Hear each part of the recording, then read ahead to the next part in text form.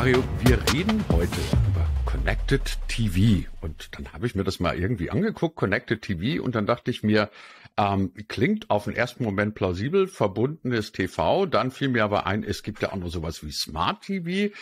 Und dann dachte ich mir, ich frage dich mal als allererstes, weil das garantiert auch jeden Hörer interessiert, was genau ist denn jetzt Connected TV? Was ist Smart TV? Ist es dasselbe oder wie würdest du es erklären?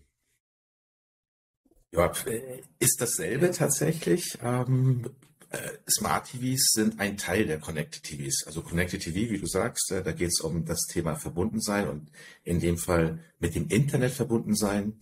Deswegen Connected TV Geräte. Und Smart TVs sind halt TV-Geräte, die nativ schon über eine Schnittstelle verfügen, um sich mit dem Internet zu verbinden. Es gibt aber auch andere Geräte, ähm, so, sogenannte Zusatzgeräte wie Streaming-Sticks, äh, Spielekonsolen, die auch ältere Fernsehgeräte äh, ermöglichen, sich mit dem Internet zu verbinden. Und das alles, Smart TV-Geräte plus alte Fernsehgeräte mit Zusatzgeräten, subsumieren wir unter der Begrifflichkeit Connected TV-Geräte.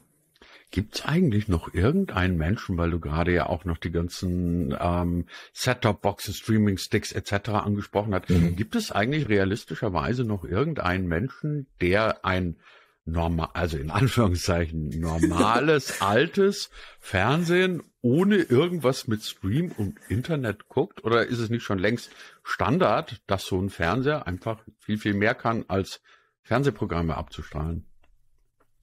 Ist so in der Tat, dass wenn du heute ein neues Fernsehgerät äh, kaufst, handelt es sich äh, in neun von zehn Fällen um ein sogenanntes Smart TV-Gerät, wo die ganzen Funktionalitäten aus dem Internet, die digitalen Zugangsmöglichkeiten schon enthalten sind.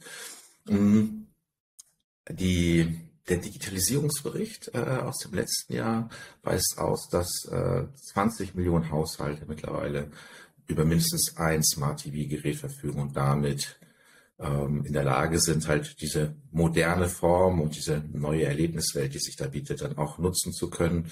Das heißt, ein Teil gibt es in der Tat noch, äh, der vielleicht mit älteren Geräten unterwegs ist, die noch nicht mit dem Internet verbunden sind. Der Großteil, gerade der über die letzten drei, vier Jahre sich mit dem Thema Fernsehen und neues Fernsehgerät äh, beschäftigt und auseinandersetzt, der ist eigentlich auch in einer hybriden Welt, wie man so schön sagt, unterwegs. Weil du gerade sagst, hybriden Welt. Ist den Menschen, dem durchschnittlichen Fernsehzuschauer überhaupt klar, dass das, was er jetzt da nutzt, im in der, in der, in der, in der, in der Branche sozusagen als was ganz anderes firmiert als das normale Fernsehen. Weil ich habe immer den Eindruck, also meine Eltern haben auch inzwischen Apple TV dranhängen mhm. und Millionen Apps auf ihrem Fernseher etc. Aber wenn ich denen sagen würde, ihr nutzt jetzt gerade Connected TV, dann würden die mich wahrscheinlich angucken und würden sagen, nee, nee, wir gucken Fernsehen, das hast du falsch verstanden. Also worauf ich raus will, ist, ähm, ist das ein Prozess geworden, der für die Leute einfach ganz alltäglich ist, ohne dass sie darüber nachdenken, jetzt eigentlich eine ganz andere Art von Gerät zu nutzen? Ja, ähm, das ist so. Das ist ähm, durch die durch die Art, wie ich, äh, sag ich mal, mein Fernsehgerät benutze, die Art, welche Inhalte ich äh, empfangen kann, ist für die meisten ist das Thema ein TV-Gerät und ich schaue halt Fernsehen und äh, es ist so ein schleichender Prozess, dass die Art, wie ich dann halt Fernsehen schaue, sich verändert. Halt weniger lineares Fernsehen, vielleicht mehr digitales äh, Fernsehen, sogenannte Streaming-Services oder Streaming-Inhalte. Und ähm, das sind auch eher die Begrifflichkeiten, äh, mit denen die Konsumenten vertraut sind. Ne? Also sowas wie TV-Gerät, Smart-TV-Gerät, Streaming, ne?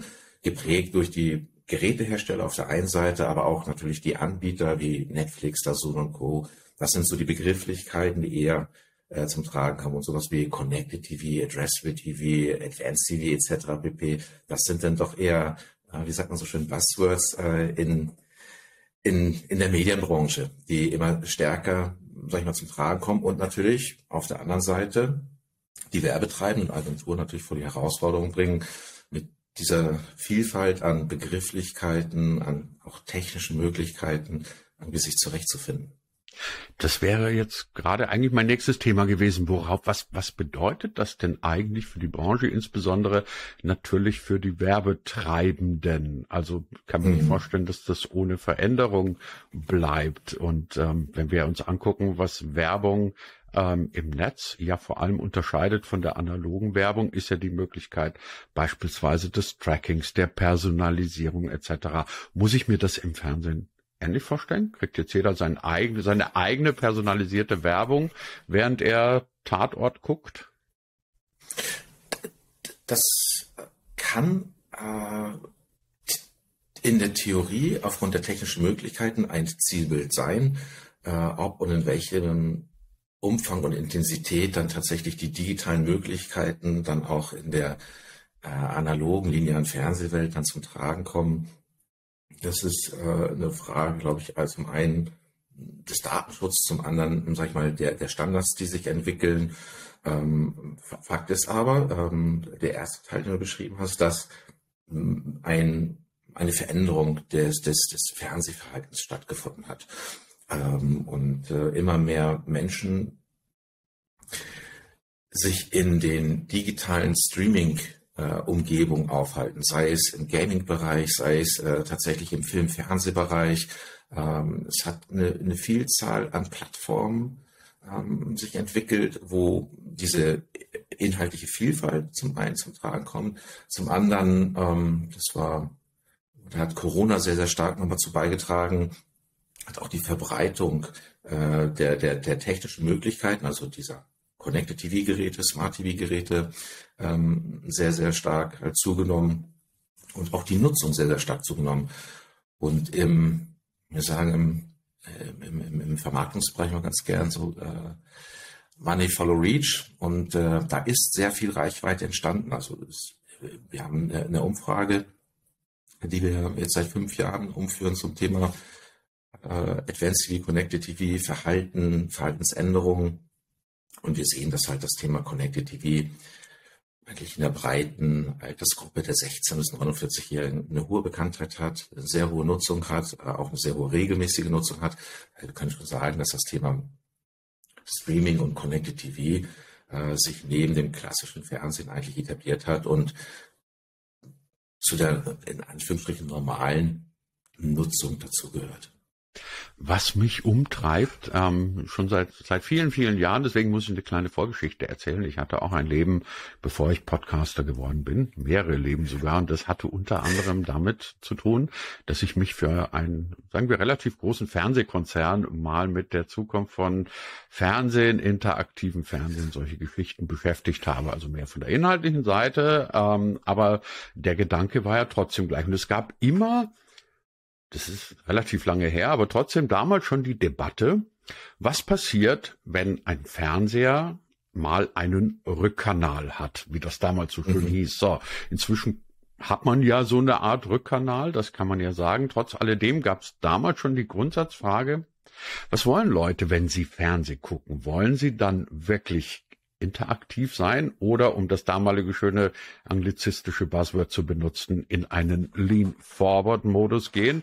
Oder ist der Fernsehgucker halt dann doch die Couch Potato, die sich nach hinten lehnt und sagt, ich will mich jetzt einfach mal unterhalten lassen. Ich frage deswegen, weil das ja auch mhm. zum Beispiel auf ähm, Werbeformate durchaus Einfluss haben kann. Es ist ja ein Unterschied, ob ich jetzt einfach einen 30-sekündigen Spot sehe, in dem es heißt, da ist das und das, oder aber, was damals ernsthaft ja irgendwie als Utopie mal so ähm, durch die Gegend geisterte, du siehst irgendwie einen hübschen Film im, im, im Fernsehen und siehst, die Hauptdarstellerin trägt die und die Hose und dann drückst du auf irgendeinen interaktiven Button und bestellst dir genau diese Hose. Ähm, hm? Da ging es gar nicht so sehr um die Frage nach der technischen Möglichkeit, sondern nach dem, was Zuschauer, wenn sie Fernsehen wollen. So, vor 20 Jahren haben wir keine befriedigende Antwort auf diese Frage gefunden. Deswegen gebe ich sie jetzt gerne an dich weiter. Was denkst du, ist der Fernsehzuschauer ein aktives oder am Ende des Tages dann doch eher ein ziemlich träges Wesen? Sowohl als auch äh, ist die Antwort. Äh, und äh, das, was äh, vor 20 Jahren vielleicht noch so als, als Utopie äh, oder für einen Science-Fiction-Roman äh, oder Film gedient hat, ist heute nicht in der Gänze, aber schon in, in vielen Teilen Realität. Also ähm, klar, wir haben äh, im Bereich des digitalen Fernsehens ähm, auch mit klassischen TV-Spots, die halt digital ausgespielt werden, äh, zu tun, also den, den 20, 30 Sekunden. Ähm, die Besonderheit hier ist, ähm, um das mal so ein bisschen zu filetieren, äh, wenn wir von klassischer Videowerbung sprechen, ähm, haben wir halt ähm, den Vorteil, dass wir die, die, die Buchungs- und, und ähm, Metriken, die wir aus der Online-Werbewelt äh, gewohnt sind, hier auch für die digitale TV-Welt nutzen können. Das heißt, als Werbetreibender habe ich die Möglichkeit, nach bestimmten Kriterien, äh, nutzerspezifischen Daten, gerätespezifischen Daten meine Werbung auszuspielen. Und das trifft auch auf den Zeitgeist äh, und das Interesse der Nutzer, weil äh, auch die Nutzer natürlich diese digitalen Möglichkeiten und Funktionen äh, im TV äh, favorisieren. Zum einen natürlich die, die, die Vielfalt durch Digitalität ähm, schaffe ich es, ähm, doch deutlich kostengünstiger äh, Inhalte zu produzieren und zu distribuieren, äh, was für den Nutzer wiederum den großen Vorteil hat, dass ich einfach eine Vielzahl an, an, an, an Inhalten zu unterschiedlichsten Themen äh, finde. Ähm, des einen freut äh, in der Nutzung, des anderen freut in der Möglichkeit, dann diese Zielgruppen auch dann äh, spezifisch anzusprechen. Ähm, und das hat äh, sehr, sehr stark auch mit ähm, dem Thema gucken, wann ich will, was ich will, wie ich will. Also diese, diese Anforderung an Plattformen und Inhalte äh, äh, des Distributoren, ähm, da den, den, den, den, den wirklich ganz spitz den Need des, des Konsumenten zu treffen. Und äh, die die distribuierende Seite nutzt das natürlich auch als Vorteil, um über Empfehlungsmarketing und Algorithmen, wir kennen das von von Netflix und Co. Ne? Dann werden mir äh, Filme empfohlen, die, sag ich mal, meinem Nutzungsverhalten auch entsprechen, äh, da äh, reinzugehen. Das heißt, wir haben so eine Win-Win-Situation zwischen der werbetreibenden Wirtschaft auf der einen, äh, dem, dem Konsumenten auf der anderen Seite und äh, last but not least natürlich auch den, den Inhaltegebern und äh, die dahingehend dann natürlich auf die Bedürfnisse des Nutzers viel stärker eingehen können. Jetzt ähm, habe ich viel über das Thema Sports und Video und Empfehlung gesprochen. Ein Teil deiner Frage war auch ähm, Werbeform und Interaktivität. Ne? Also mhm. äh, du hast äh, das Beispiel äh, Thema auch Shopping aus dem aus dem Fernseherlebnis heraus zu betreiben. Ähm, ich möchte gerne äh, eine Anekdote erzählen. Ähm, ähm, meine Zeit bei bei Vipo TV hatten wir einen, einen Test mit, mit ähm, einem sehr, sehr großen äh, E-Commerce-Anbieter äh, aus den USA und äh, den, den Broadcastern hier in Deutschland. Ähm, und der Möglichkeit aus dem tatsächlich laufenden Programm, äh, wenn es denn in den Werbeblock ging, einzelne Spots ähm, zu markieren und dann ähm, einen sogenannten Call to Action, also eine Fläche einzublenden, dann in den Spot mit der Möglichkeit dann, wenn der Konsument sagt, okay, hey, das interessiert mich, das äh, laufende Signal anzuhalten, äh, auf diese Fläche zu reagieren und dann in das Shopping-Erlebnis auf dem TV-Gerät einzusteigen. Und ich glaube, das ist auch ein ganz, ganz großer Vorteil der Digitalisierung des TVs, dass ähm, wir die Möglichkeit haben, innerhalb äh, des Big Screens ohne Medienbruch äh, die Interaktion und das Engagement ähm, zwischen Werbetreibender ähm, und, und dem Konsumenten herzustellen. Ähm, sehr, sehr großer Vorteil und da sind wir in den Anfängen. Also äh, dieses äh, Thema wirklich flächendeckend äh, umzusetzen, da bedarf es noch definitiv äh, mehr Technologie, äh, mehr Standardisierung, aber die Anfänge sind schon da und funktionieren auch. Jetzt reden wir hier die ganze Zeit vom guten alten Fernsehen. Bewegtbild ist aber, mhm. das ist keine allzu neue Erkenntnis, ja inzwischen viel, viel mehr als ähm, Fernsehen. Also du kannst Bewegtbild ja im Prinzip heute überall da abspielen, wo es äh, ein Display gibt. Also sogar eine Smartwatch ist sehr theoretisch bewegtbildfähig, aber ne, überall, wo ein Display ist und wo irgendwie sowas ähnliches wie Internet in der Nähe ist, kannst du ja inzwischen Bewegtbild abspielen. Was mhm. bedeutet denn das aus eurer Sicht? Werden wir noch öfter Dinge sehen, Kampagnen sehen, die über diese Kanäle hinweggehen? Kann man diese Kanäle vernetzen? Muss man sie vernetzen? Oder muss man letztendlich sagen, um es mal ein bisschen krass zu formulieren, der Fernseher im Wohnzimmer und ein TikTok-Videostream, die haben überhaupt nichts miteinander zu tun.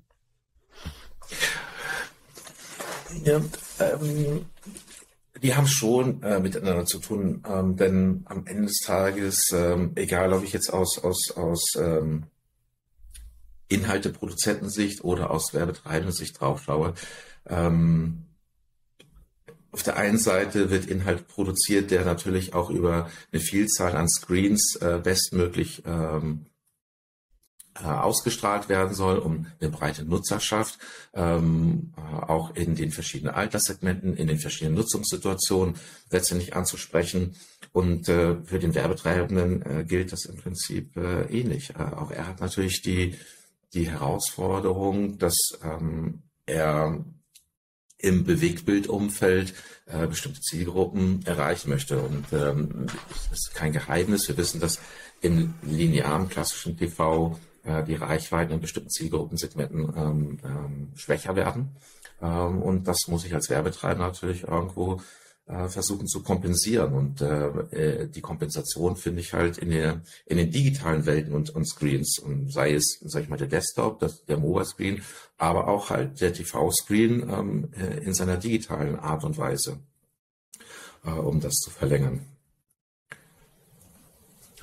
Es gab eine Sache, die ich sehr, sehr interessant fand, als ich ähm, mir eure Studie angeguckt habe, weil ich mir dachte, wow, das zeigt ja, finde ich zumindest, diesen ganzen Paradigmenwechsel nochmal sehr, sehr stark. Und zwar habt ihr, ich habe jetzt die genaue Zahl nicht mehr im Kopf, ähm, aber ihr habt festgestellt, dass diese Selbstverständlichkeit beim Fernsehschauen, nämlich dass ich erstmal als Startscreen sozusagen das in Anführungszeichen normale Fernsehen habe, ähm, dass diese Nutzungsgewohnheit nicht mehr so ist, sondern dass inzwischen irgendwelche andere Gewohnheiten oder andere Anwendungen für die Leute mindestens gleichbedeutend sind. Also, dass du nicht mehr automatisch erstmal deine ARD dran hast und dann sagst du mal, ich guck mal, was in irgendeiner Streaming-App läuft, sondern dass Leute möglicherweise mit Netflix starten oder mit whatever. Wenn der Einstieg in die Fernsehwelt, in die Bewegbildwelt schon so unterschiedlich ausfällt. Gibt das irgendwelche Konsequenzen, die man als Werbetreibender beispielsweise daraus ziehen kann? Wenn ich also schon sage, ich weiß gar nicht genau, wie steigt denn der Zuschauer, der Nutzer überhaupt in diese Welt ein? Oder ist das egal? Nein, das hat mich auch überrascht. Ähm äh, wir haben zum ersten Mal äh, festgestellt, dass der Großteil der Befragten äh, in unserer Advanced TV-Studie tatsächlich die, die Benutzeroberfläche ähm, seines Geräteanbieters ähm, oder Inhalteanbieters sieht. Also entweder die Benutzeroberfläche des Smart TVs ähm, und das zum großen Teil. Also wenn du sagtest Zahlen, also 55 Prozent äh, der Befragten sind tatsächlich nicht mehr übers lineare TV-Programm eingestiegen, mhm. sondern über diese Benutzeroberfläche und davon der Großteil über die Smart TV-Oberfläche. Mhm. Das heißt, Smart TV-Geräte, und äh, das wissen wir auch durch eine andere äh, Fragestellung, nämlich welche Zugangsart zum Connected TV äh, äh, genutzt wird. Und drei Viertel der Befragten gaben auch da Smart TV an. Das heißt, Smart TV-Geräte äh, entwickeln sich zu einer sehr, zu einem sehr, sehr relevanten, wie man so schön sagt, neuralgischen Touchpoint, äh, um Nutzer anzusprechen. Und zwar anzusprechen, bevor sie ins Linear-TV-Programm einsteigen, bevor sie eine bestimmte Streaming-App wie Netflix, äh, Amazon Prime und Co. Ähm, öffnen. Und äh, das ist natürlich auch ähm, eine gute Möglichkeit dann für Werbetreibende, wenn ich weiß, okay, im linearen Umfeld erreiche ich sie vielleicht gar nicht mehr oder nur noch gering. Ähm, dann die Benutzeroberfläche des Smart TVs äh, zu nutzen, um dort äh, den, äh, den, den, den Zuschauer abzuholen. Und äh, äh, das haben die Smart TV-Gerätehersteller auch äh, verstanden, diese Bedeutung, die sie auch als sozusagen Werbetechnologieplattform äh, innehaben und bieten hier die Möglichkeit, Werbeflächen in diese Benutzeroberfläche zu integrieren um dann die Zuschauer genau in dieser Nutzungssituation, äh, die schon sehr sensibel und sehr besonders ist, dann auch anzusprechen. Das sind, ähm, das sind Werbeflächen, die wir aus der Online-Welt eigentlich kennen. Ähm, ein paar Stichworte nennen, so sowas wie Medium Rectangle zum Beispiel oder ähm, große äh, Header-Banner, äh, die auf verschiedenen Platzierungen auf der Startseite, aber auch auf den Unterseiten, das muss man sich vorstellen, wie wenn ich im Web navigiere äh, oder in einem äh, in einem äh, Streaming-Service-Oberfläche navigiere. Ich habe da meine Kacheln, wo mir verschiedene Inhalte angeboten werden und äh, dort sehr prominent sind äh, auch Werbeflächen dann sozusagen integriert.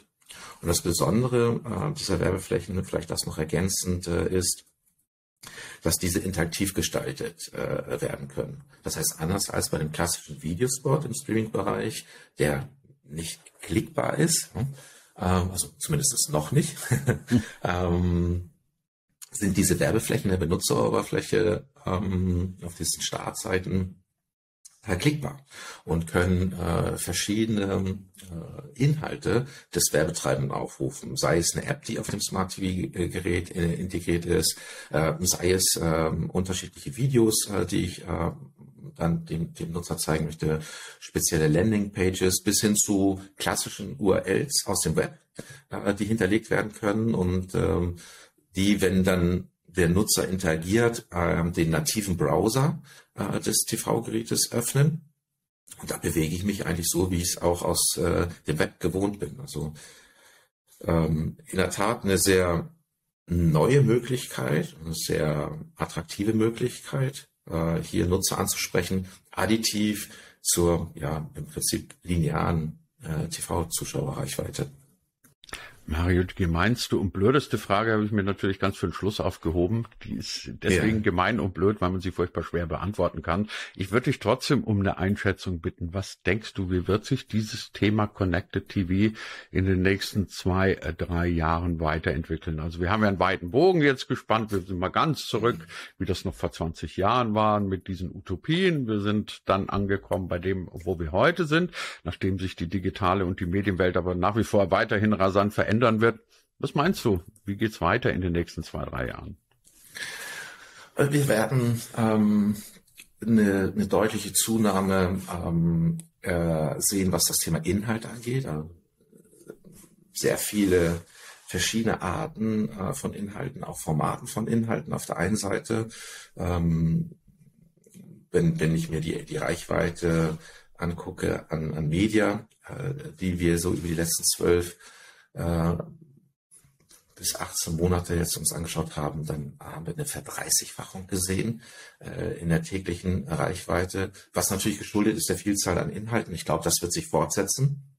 Was sich auch fortsetzen wird, ist die Möglichkeit, äh, diese Inhalte äh, aufzurufen. Das heißt, wir werden weiterhin noch mehr OTT-Plattformen, noch mehr Streaming-Services, App-Anbieter in, in dem Bereich sehen und äh, mit Blick so auf äh, die amerikanischen äh, Player äh, und auch äh, die, die, die, die lokalen äh, ähm, Broadcaster ähm, werden wir auch eine, eine, eine weitere Digitalisierung und ähm, ja, äh, Differenzierung feststellen der Möglichkeiten. Also äh, Inhalte der, der großen zwei äh, Fernsehsender auf weiteren OTT-Plattformen, ähm, amerikanische Teilnehmer, die äh, hier in den deutschen Markt äh, eintreten werden.